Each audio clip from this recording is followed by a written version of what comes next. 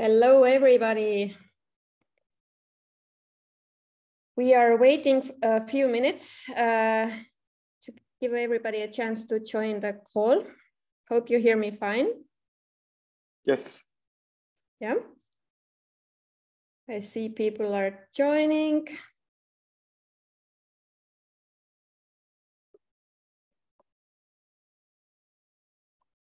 Yeah, but let's uh, slowly start then. Uh, welcome everybody to our webinar today. I'm Gerlin, I'm gonna be your host.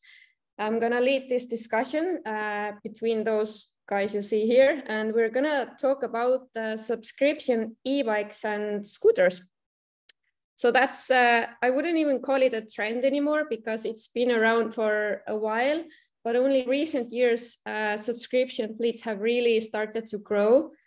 And uh, we've invited uh, the CEOs of three subscription fleets to share their insights into how to efficiently operate uh, this business model.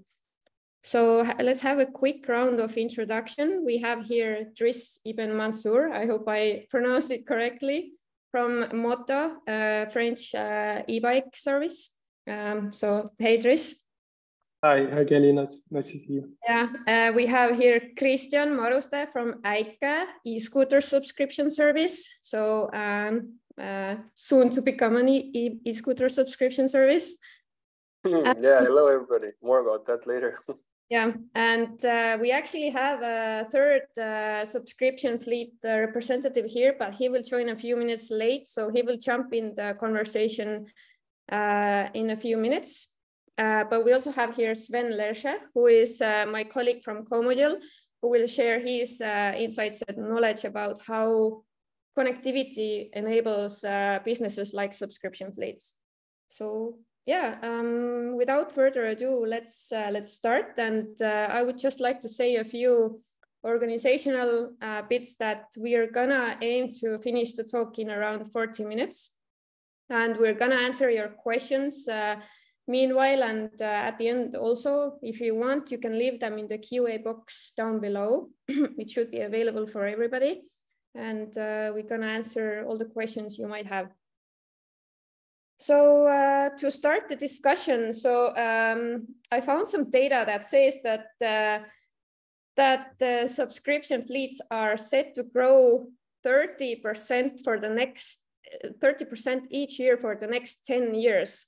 So, um, but uh, as I mentioned, the subscription is nothing new. It's been around since 2014 when Swapfiets, one of the first subscription services, launched their bike uh, service. Uh, what's your take on why now is the right time for subscription fleets? Um, who wants to take this? Driss is being clever and letting me to start. Although when you looked at his LinkedIn profile, he should have much better answers. Uh, but I think it's not, uh, you know, just connected with the mobility side. It's actually connected with the larger kind of uh, buy now, pay later movement uh, that has also started from the from uh, electronics, but even more further down, you know, the subscription as such I think it started from mobile phone companies around 15 years ago when previously you paid for every minute and then you had a monthly subscription for your mobile phone.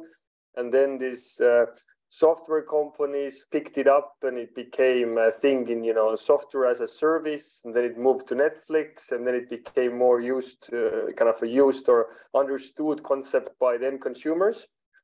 Uh, so uh, and you know then this kind of subscription as a model has has moved from mobile phone plans to everything else.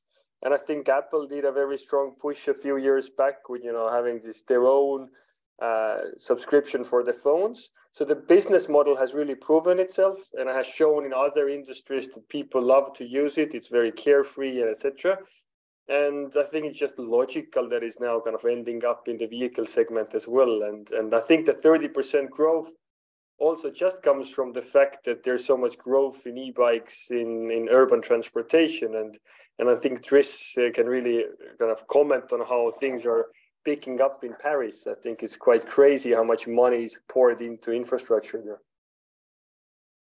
Yeah, just maybe to complete uh, what what Christian was saying, I I totally agree. There's like kind of a structural change around people want to access usage more than they want to access ownership. You will always be a, there. There will always be a market for retail. There always there will always be people who want to own and buy the, the e-bike. But what we're saying, at least with our uh, fleet of users and our our, our members, uh, that it has it's a market that is more and more driven by service more than product. So people want to buy a service, they want to buy an experience uh, more than they want to buy and own the product. So the service part and the servicing part of, of, of the business is essential. Uh, and uh, and uh, more and more people are entering this market uh, because, as Christian said, the market is growing really fast. Paris is a good example. Paris is investing massively in infrastructure. So you have more and more people who are totally new to commuting when an e-bike within the city.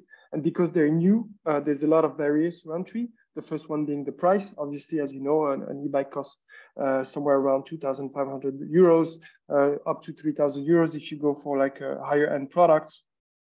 And they're also afraid of like the potential maintenance that comes with it, the theft and everything. Uh, so, so the subscription is the perfect way to address all of those problems and to really enter the market from an angle of service, an angle of uh, providing a, a, totally peace of mind uh, service and not uh, not having to own the, the asset. So I think if you look at the market, subscription is kind of a logical uh, uh, evolution, uh, and, and it's a perfect way to to bridge the gap between shared mobility and and traditional retail. And maybe yeah. one thing one thing I wanted to add when you said peace of mind, I think there's still a lot of people for whom whether it's a scooter, whether it's a bike, and if it has a battery, they still feel a little bit of afraid of the technology. They don't know how to exactly handle it. Maybe it will break and etc. And uh, subscription really takes that you know off as well because you know that if something is wrong, it will be replaced, and it actually you don't have to own it and etc. So it, it also kind of takes off this uh, how to say risk or being afraid of new technology. So what I'm hearing is that the time is right because the two kind of things are merging the huge micro mobility movement and the overall sentiment that that you don't have to own things and you can just subscribe to them. Um, yeah but in in the micro micro mobility sector we're also seeing that companies that so far have been selling e-bikes and scooters they're doing this uh, subscription business uh, uh, now kind of on the side uh, as extra revenue stream. So we're seeing uh, brands like Cake and uh, Rad Power also renting their bikes out for long term while uh, Moto, for example, is uh, solely focusing on subscription fleets. Uh, so what's your take on that? Is this something that's normal in this business, like a hybrid that you can do subscription, but also sell your vehicles or, or yeah, what's your thoughts on this? I can start with this one because we've uh, when we started Moto, we we um, we really thought about like should we uh, both sell the vehicle and offer subscription on the side and kind of combine both models. Uh, what we realized is that it's extremely hard to combine both models. First of all, because the hardware, uh, when you when you design your vehicle, the vehicle you design for sale is very different from the vehicle you design for subscription. Uh, so it's very hard to kind of have the same vehicle for both resell or like uh, sell and, uh, and, uh, and, and subscription. Uh, when you design a vehicle for subscription, you design for uh, durability, you design for uh, operability, and you always have repairs in mind. so when we started working on Moto, we immediately uh, decided that we would just go for subscription and the vehicles that we'll design will be designed obviously to attract the user to be as attractive as possible, but also to be uh, as repairable as possible because that's essential and that's an essential part of our, of our business and of our unit economics. Uh, the second thing is um, when you when you start a subscription uh, business, uh, you need to have your operations in order and you really need to be really good at repairing and, and servicing bikes basically. So when you look at brands uh, like the ones you mentioned or the ones like that are uh, pretty uh, pretty famous like cowboy and VanMoof they've started from the product point of view uh, and they're trying to evolve towards a service or improving their service, and it always has been a struggle for them. Uh, so if you talk to a user or like a, an owner of a, of a VanMoof or a Cowboy, they love the product, but very often they will tell you, "I'm struggling to get servicing for the bike." Um, so we took it in the other direction. Uh, we decided to start with servicing and make sure that we have the best service possible, and make sure that people are satisfied with service and build on this and improve our hardware as, as, we, as we go. Uh, so for us, it was first uh, kind of um, getting the service right and the, the whole repair operations right and keep improving and iterating on the on the hardware. One thing I wanted to add is I think there's something in between as well. You have, you know, sales, and then you have the subscription where you really pay a monthly fee. It's uh, it's flexible. People come to you, they give you the vehicle, they maintain it. But in between, you have this classical buy now, pay later model, and I think many companies actually call that the subscription uh, as well. Uh, so sometimes it gets confusing. And also I think in electronics world, it's usually actually the model where you just have monthly payments and then every two years you get a new device. Uh, um, you know, there's a scooter company called Augment, for example. Uh, they only do two-year periods, so it's it's not really your classical subscription. It's more a way of doing a long-term payments.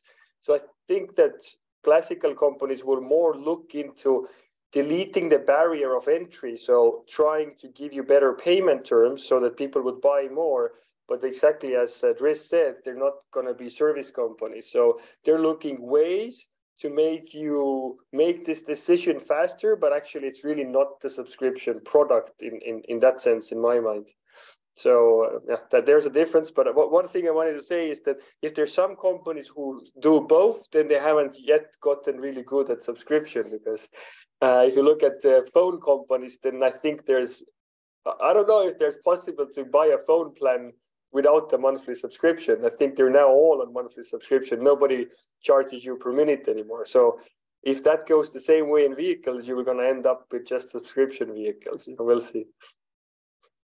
Um, but uh, if we talked about uh, the 30% yearly growth of subscription service, then who who who will need to give away their market to uh, is it the sharing fleets? Is it those uh, privately sold vehicles? Or or who who uh, kind of loses thanks to the fact that the subscriptions are um, growing so fast? Hopefully cars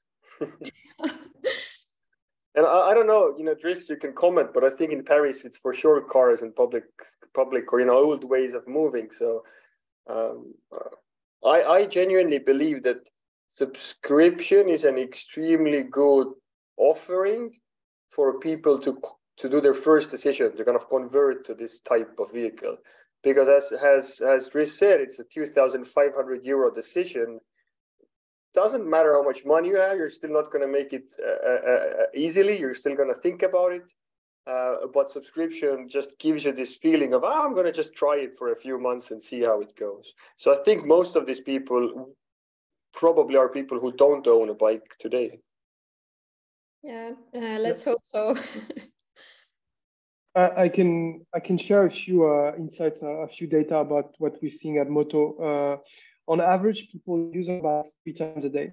Uh, so that's kind of the, the, the stats we're seeing, and most, I would say like 100, maybe 95% of our users are using the bike plus another uh, transportation mode, meaning that you cannot see like the mobility market as a unilateral, like a unique transportation mode. There's always like uh, a multimodal approach. So I think that if you if you look from the perspective like who's winning the market, I think that everyone is winning with this growth because um, when you when you uh, for instance when you start with sharing shared bikes and you use e-bikes on a daily basis uh, at some point you make the calculation and realize that you're spending hundreds of euros per month because every ride is like five euros and if you use it two three times a day you end up pay, paying hundreds of euros per, per month. So you start thinking about like what should i do? Should i go and buy my own or should i should I keep this flexibility and peace of mind and go towards subscription?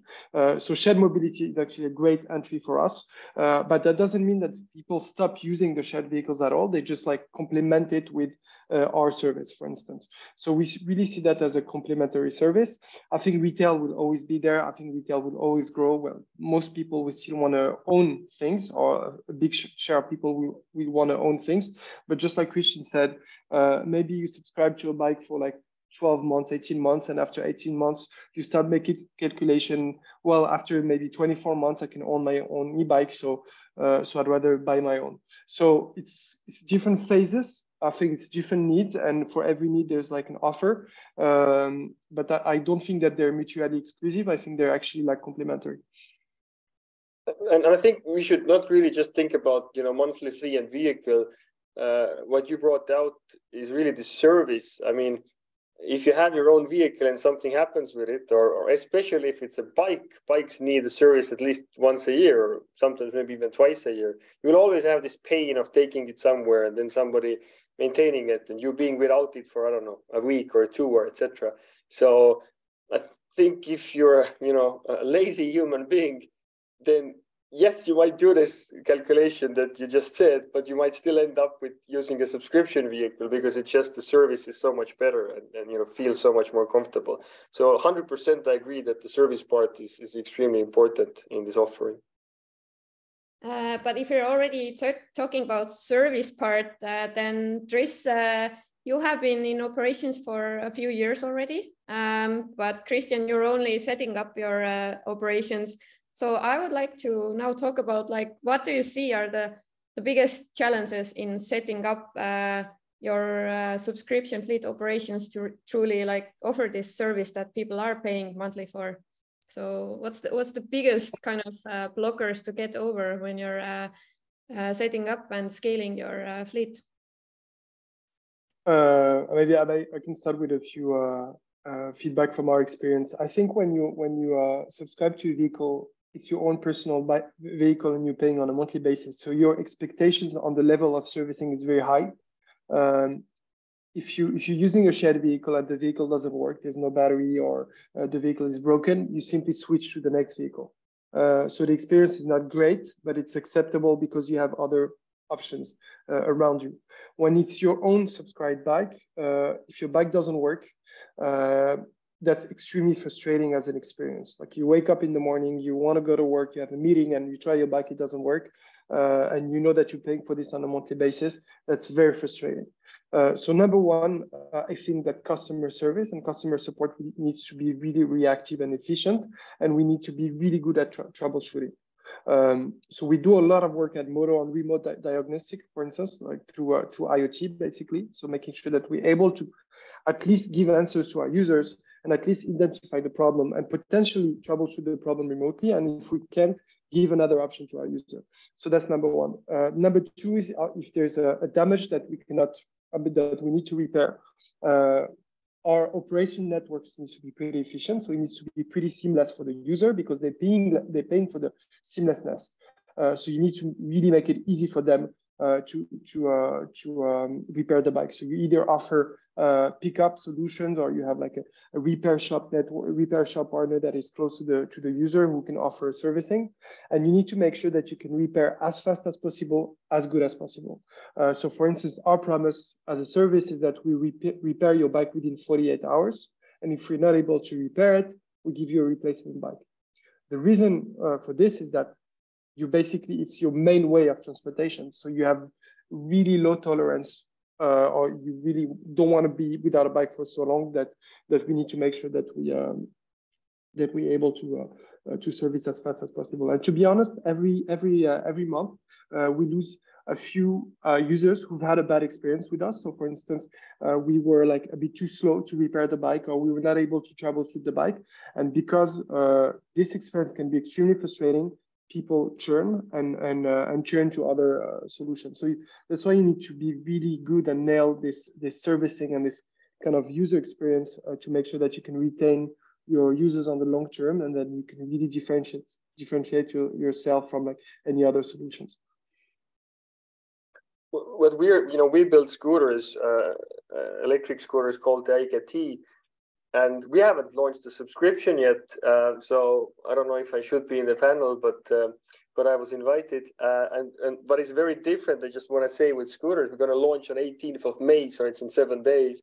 But what is very different with scooters is that you can do a very wide geography because a scooter is easy to ship. So uh, if uh, if bike companies always have to be local in the city where they operate, then then how we are going to, to do it, and we're going to see how well it works. But we know it works for this company called Augment. It works for the company Unagi in US. Is that you ship the product to the user, the user uses the product. If he has an issue, and you can uh, you know remote diagnose or in, in contact with the user understand what kind of uh, need, uh, help they need. And if you can't do it uh, remotely then you just ship him a new scooter. He gets the new scooter puts the old one in the box and the old one goes back.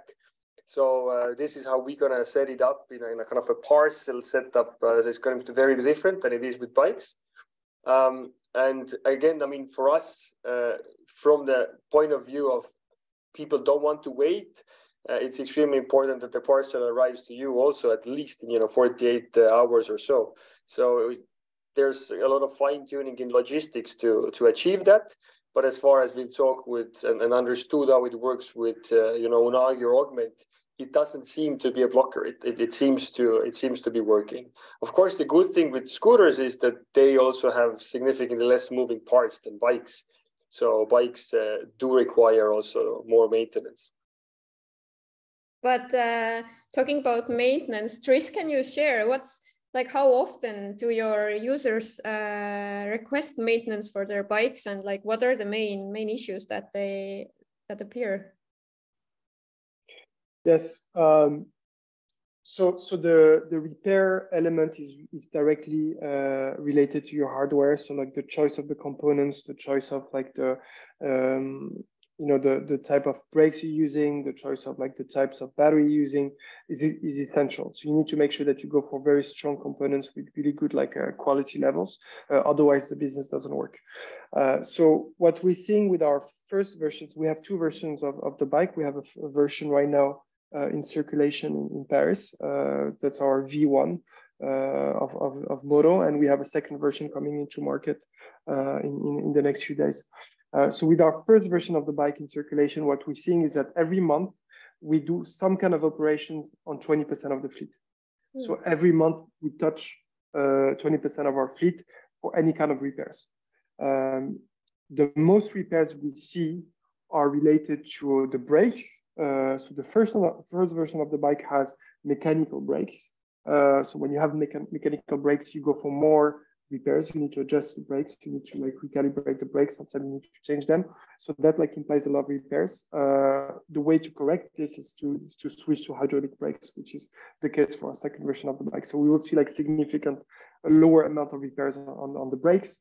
Um, the other main kind of issues we have are related to uh, electrical problem. Uh, so basically you have a problem with your controller, with your engine, um, that you need to troubleshoot and, and, and work on. Uh, that's still a limited, a marginal uh, number of, of problems, but when it occurs, when it happens, uh, well, you need to uh, retrieve the bike and, and do like a uh, thorough uh, analysis and investigation on, on the controller on the engine. But the I think one of the super interesting thing about the, about the subscription model, and because I come from the sharing world, I used to work for shared shared operators the, the, the frequency of, of repairs is of damage is much much lower. I think I would say it's three to four times lower than for like a usual uh, shared mobility operator, simply because the people really have the feeling of owning the vehicle, of owning the bike, uh, and that makes a huge difference. Um, so yeah, I, I would say 20% of the fleet, we are confident that we can lower that to 10%. So every month we repair 10% of our fleet uh, and that we're able to do all the repairs within 48 hours. So 10% that would be a bike comes in for service once per year, roughly, right? Yes, exactly. But one thing I wanted to ask from you is that um, uh, two people like flag their interest for, for a maintenance or help. Uh, let's say if the brakes are just squeaking, or or do they really flag it like when the brakes don't work anymore? Because you know, if you look at these large cities, or I don't know, Holland or or, or in Amsterdam or, or Copenhagen, then usually people ride their bikes as long as the chain breaks and then they just can't get forward anymore. So i think with personal vehicles they just take it to like extreme and then even they really can't use it then only then they will go to the service. But in, in your case as you don't kind of have to pay extra to people kind of do it much earlier or they're too lazy and they still wait until it can't be used yeah, that's that's a very good point. Actually, the less people come and see us, the happier we are, right? Because if they come and, and get a repair that costs us money, because obviously we don't charge per repair, it's included in the sub subscription price. Um, so what we're seeing, it's interesting, is that you have an on uh, on average, people come 20% of the time, like 20% of the fleet comes back for repair. But then you have like high and, and lows. So you'd have people people who come every month, no matter what. They come every month to check their brakes. They come every month to make sure that the, the battery is still in good shape. They come every month because they have a question. So that people cost you a lot of money, right? Uh, this is the way it is. You also like uh, you've also like um, uh, build this this product for them, and then you have people who just you never see from the moment they take the bike to the moment they return in 12 months, 15 months, 16 months later. You've never seen them, uh, so they've basically almost cost you nothing. Uh, and then it's all about the average. You don't have a business if you have every single user who comes back to you every single month. There's no way you can be profitable, right? It's not just uh, that that doesn't work out. The numbers don't work out. But you're counting on people who are going to come to you very regularly, being compensated by the people who are never going to show up. Mm-hmm. They're never going to come and to, to. So there's like both, uh, both, uh, both, um, kind of both options. Uh, what we're seeing is that uh, there are more people who never come than are people who come regularly. Uh, and the other thing is that the better the, the hardware, the less people will come to you and and uh, the better the choice of the components the better the choice of like the battery and all and, and all those things the less people will come to you so, so all in all, uh, the longer the vehicle lasts, more money it makes you, basically. But um, Sven, uh, I would like to give some word to you also. So, uh, Comodule works with several subscription fleets, so uh, we provide connectivity for them, and you are quite familiar with uh, how how to raise this uh, total cost of ownership for maybe you can just share some insights on that. How, how does technology help to do that? Yeah, thank you very much, Galen. First of all, um, I, I'm going to be a bit more technical than, and because of that, I, did, I didn't want to crash the nice discussion from before. Uh, but just total cost of ownership is a very central question that we see at our customers. So, uh, and as just discussed, uh, it's it's all about cost and how to make them or how to make these bikes as cost, uh, cost efficient over lifetime as possible. And we see some, um, yeah, some major cost blocks. First one, and I think the biggest one might be the uh, everything regarded with theft. So if the bike is, is stolen and away, it's a cost. But uh, everything regards to theft recovery is something that also costs money, but it can be uh, more efficient the better you can, for example, remotely check the location of the bikes. So this is one point that that we also at Comodule try to address and uh, help our customers with. But apart from that, uh, one big thing um, that uh, yeah, lowers especially the service costs that you uh, also mentioned, Driss, is uh, the, the ability of making over-the-air updates. So imagine you have your, your, your e-bike with drivetrain X and the drivetrain needs an update. So one option would be to call every customer or to text every customer, please come into the workshop and I do the update for you. Um, or the much better option would be remotely press a button and all bikes are being flashed automatically and uh, basically no cost occur. And this is also what we addressed very much during the last years and have integrations with different drivetrains. So this yeah, is one big thing that we see. And uh, parallel to this, also new features. So once you get a new, or you want to implement a new feature on your bike, you make you want to make some changes. For example, uh, lowering lowering the maximum speed. Maybe a bad example, but uh, you you might willing to do it. Um, uh, then you could also do this remotely without uh, getting people into the workshop. So yeah, I think there are many points that can be optimized and um, yeah we try to to assist in the best way uh, you mentioned uh, uh, theft recovery and if i put myself in the shoes of uh, like a user for subscription leads, i think uh, this theft thing is like the biggest selling argument for me that i don't need to worry about it uh, in case anything happens. So christian and Driss like what's like how do you how do you sell this uh, theft insurance thing on top of your uh, service? Is it included or like do you see this as a major uh, kind of uh, reassurance to go for this kind of service that uh, whatever happens i don't have to deal with it? So yeah. Uh, yeah for us it's we're still setting it up but we're going to have two different types of subscription. One is kind of annual, the other one is flexible.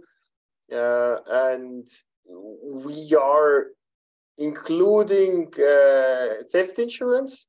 We just still haven't figured out what will be the uh, what's the what's what's it called in English when you have to pay amount yourself as well when it's stolen. Uh, like your own kind of yeah there's a word for it. But anyway deductible i think it's called yeah. Mm-hmm. so I, we haven't decided exactly where's the deductible but the interesting part is that you know if you go as a as a as a single user um, and you own your own bike and you go to get an insurance then you will get an offering of let's say you know 100 units or 100 euros but as we go there, we will insure, you know, thousands or hundreds of bicycles, and there's no customer acquisition cost for the for the insurer, which is their biggest cost. So we get the price three, four times lower than what you would get as a, as a personal use.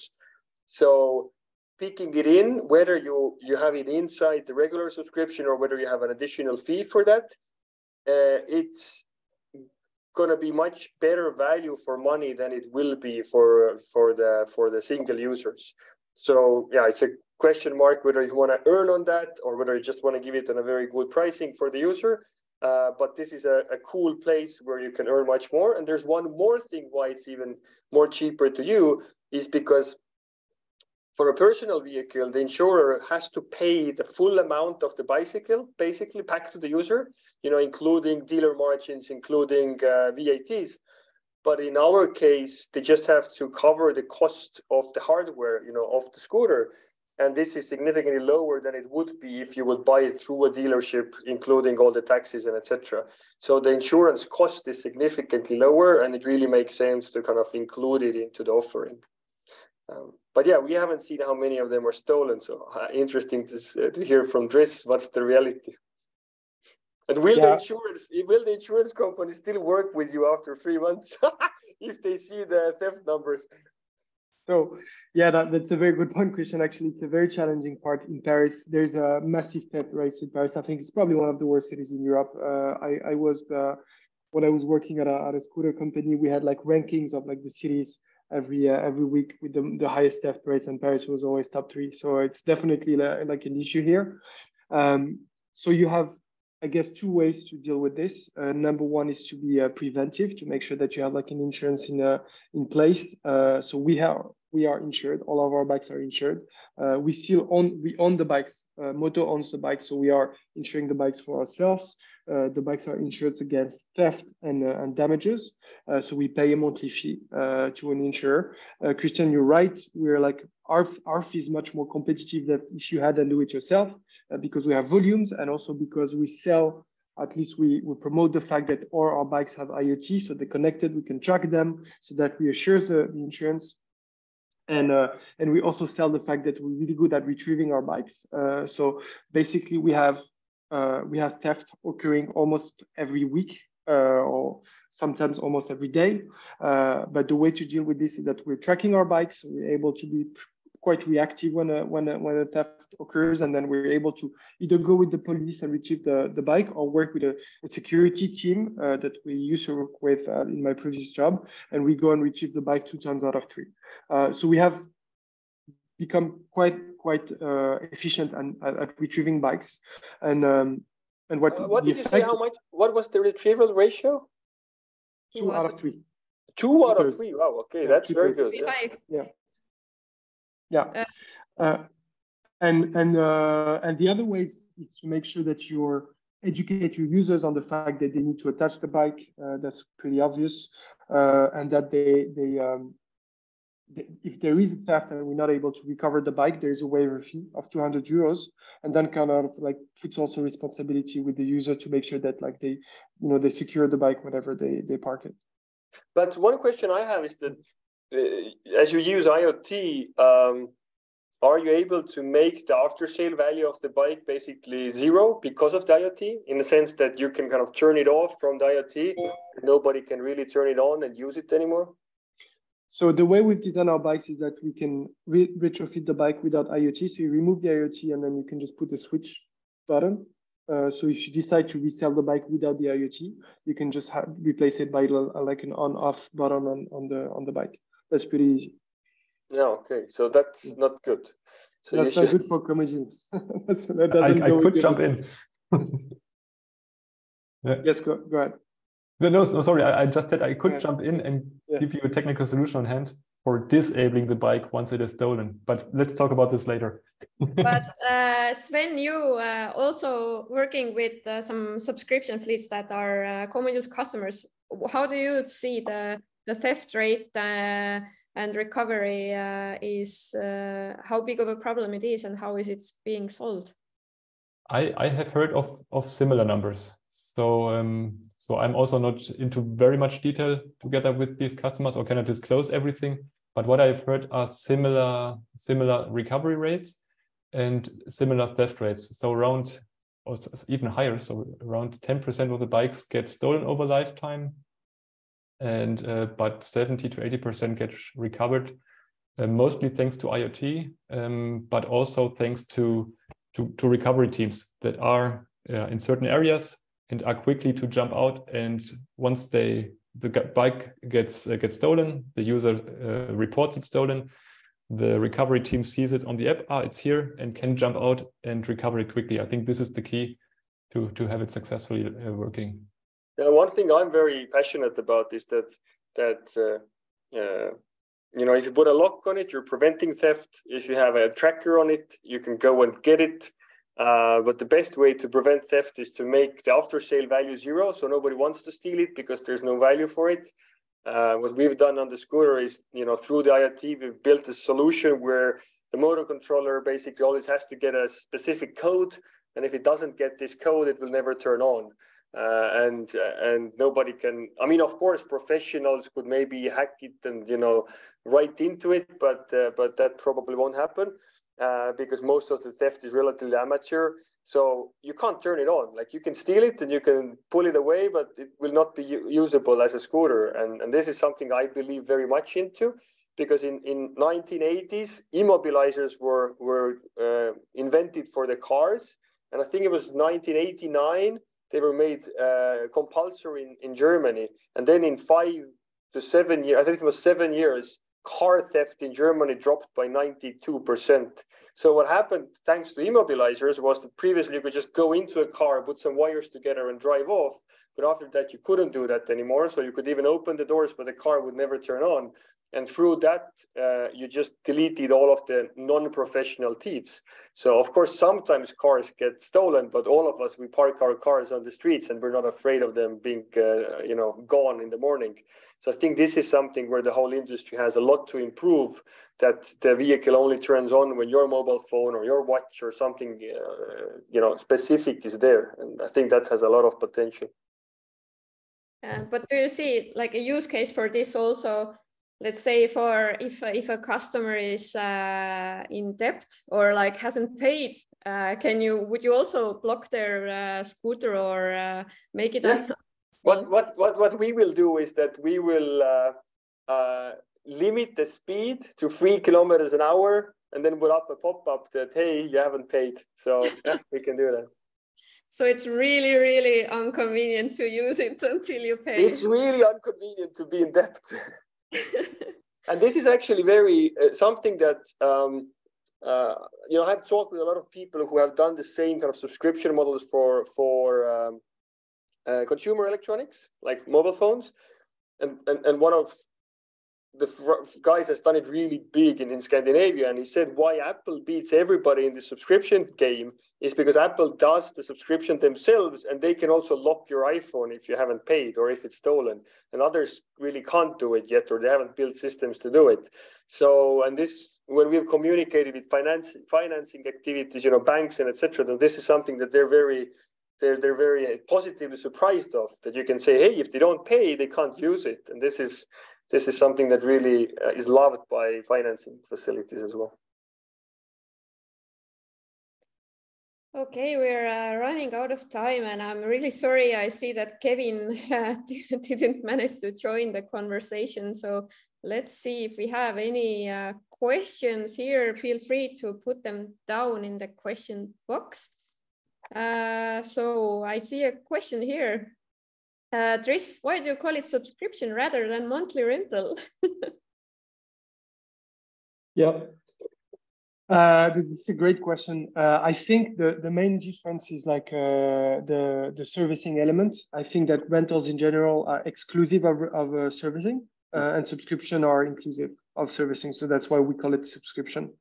Um, I think the the other maybe the other thing is that uh, at least in our in our um, like rentals it depends on the terms but like i guess long-term rentals with services can be uh, can be like defined as subscription. Uh, just subscription is a is an easier word to uh, to use. I don't know if that answers the question. Yeah it did. I think it, it we already talked a bit about the subscription definition when we discussed like uh, uh, those uh, payments for like if you're just selling a e-bike but calling it subscription and like uh, even the terms uh, are a bit mm -hmm. is it long-term rental or just uh, pay pay take now and use later um, okay, I have here some more questions. Um, how do you plan on educating traditional consumers that might be programmed to accept more of an ownership culture on the benefits of subscription? Christian, this I think this is a challenge for you uh, since you're launching next week. Yeah, I mean, what we did, uh, you know, we're keeping the sales as well, and then we're going to have a subscription on top of it. Um, and we, when you were buying the scooter, you had three options. You had like basic, uh, I think it was called pro, and then performance. You had three options, like three model options. And we're going to delete the basic, and instead of that, so when you want to buy the vehicle, you will see, you know, pro version, some price, performance version, some price, and then you would have a instead of the basic, we will write down, hey, but if you want to have like the the the quickest or the cheapest option, then maybe you should take our subscription. So that's just one way of putting it, just really communicating out to the people that that's a very easy way to start. But of course, there will be still people who want to buy vehicles, as Driss said before as well. But what I'm very interested of, um, and it's very exciting, is that if you have the subscription model, you can basically open up the marketing playbook of whatever SaaS company, Netflix, whoever, and start pushing them and saying, hey, if you refer a friend, you get one month for free. Hey, you know, so sign up now, you get two months for one euro, and then it will go for 45. There's so much of these marketing tricks uh, that have been tested on other uh, on other industries. So I think end of the day, it's really you know getting this hook on people, which is much harder to do if you're selling the vehicle. Yeah, because as you mentioned, the entry barrier is so much lower, and uh, you can just play around with it a lot. So just raise your hand who has a Netflix subscription, you know, and yeah. who who has had some months where they haven't never used it because they've been traveling or just enjoying life, but you haven't canceled it either. Yeah. Oh, we have here a surprise guest. Hello, Kevin. And uh, see, can you hear us?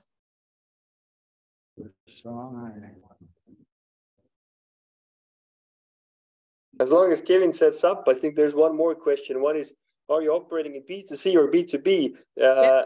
great question for Kevin, actually, because, uh, hello, Kevin, can you hear us? Can you hear us?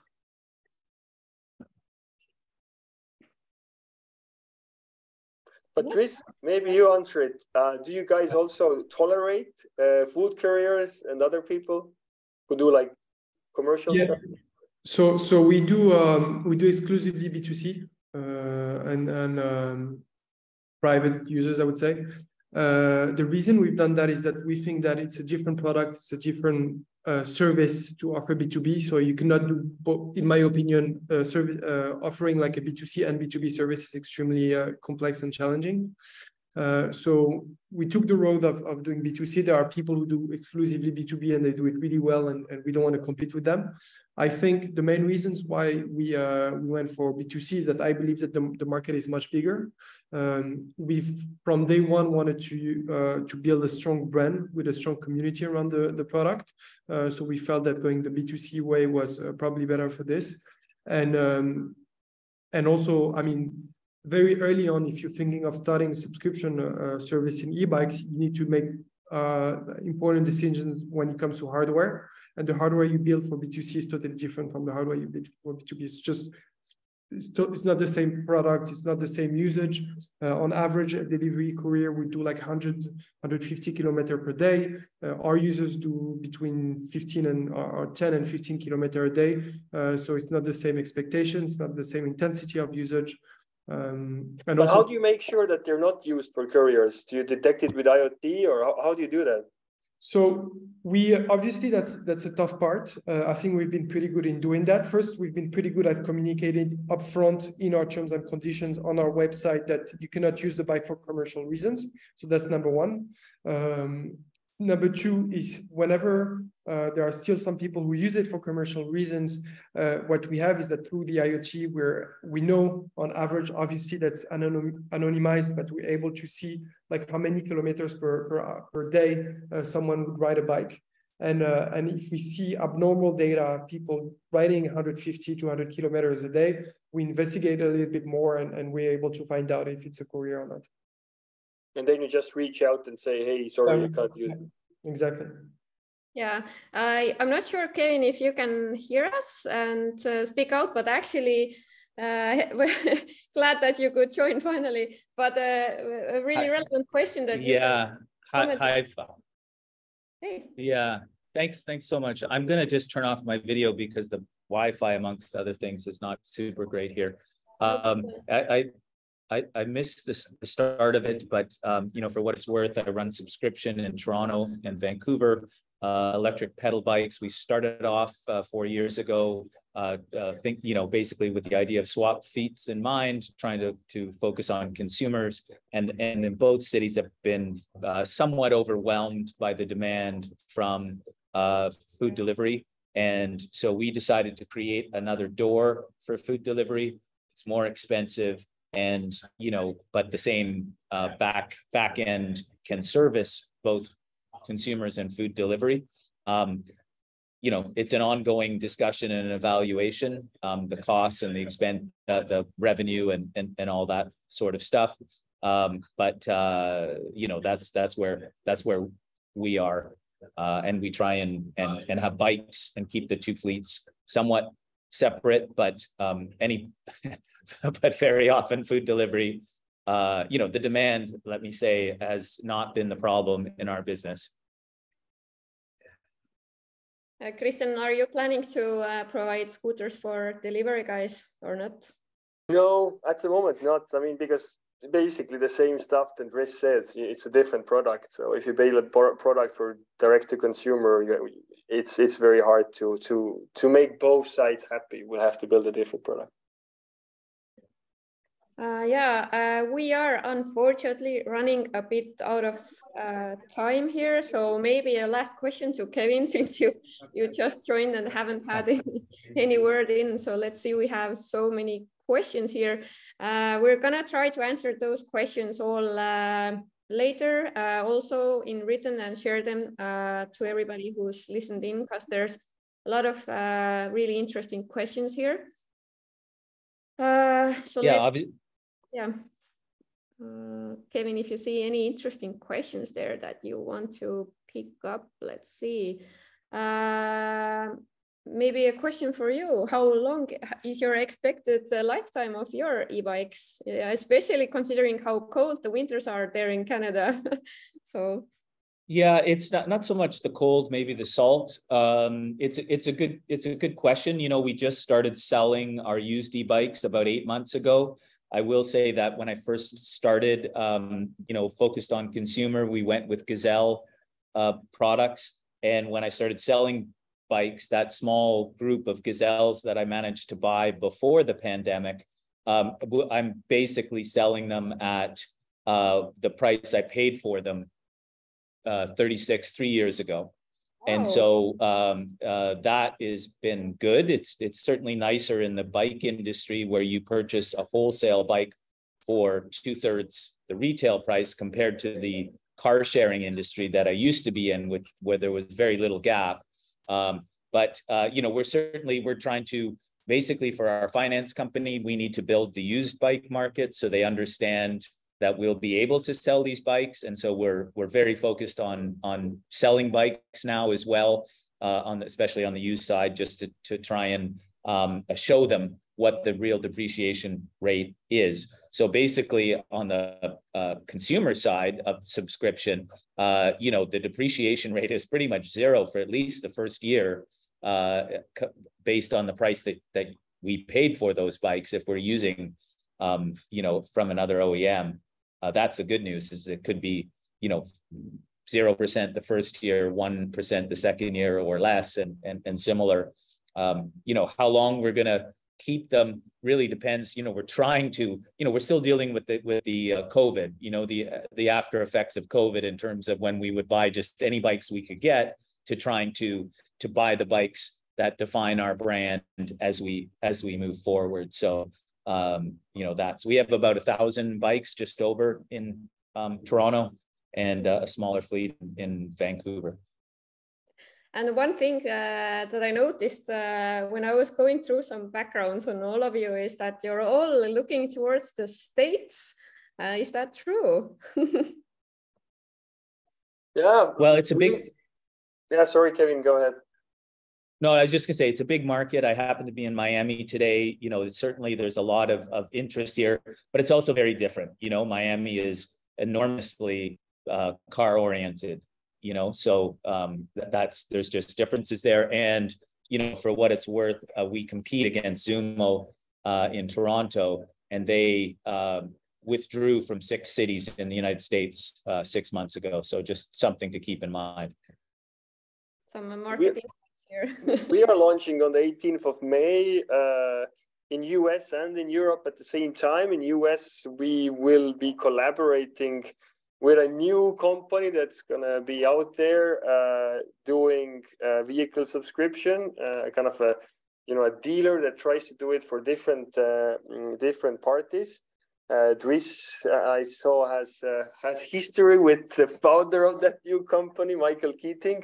So Michael setting up a new company, but you'll find out more in the 18th. But I think in general it doesn't matter whether it's uh, subscription or ownership. US is I don't know five or ten years behind Europe, so it will be a wild wild west for everybody to to go and explore, and hopefully if subscription models get there, you know, early enough, maybe they even skip this really strong ownership model and go directly there. Um, so I think there's huge opportunity for sure, but time will tell how it will be adopted.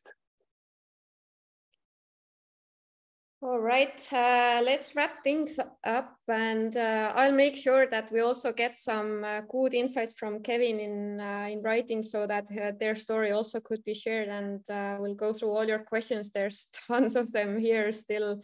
It really seems that people want to learn more about this topic and really kind of push this further. So that's really great to see.